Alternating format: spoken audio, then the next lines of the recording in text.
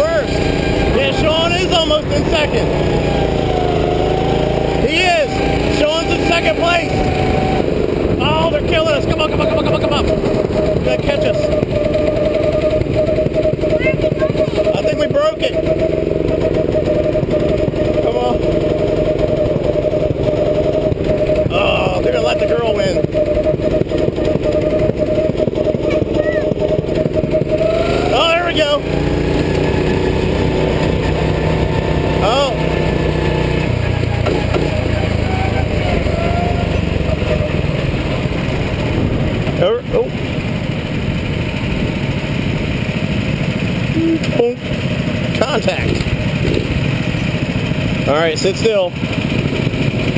Because there's going to be a bunch of people come screaming in behind us and we might get rear-ended a bunch of times.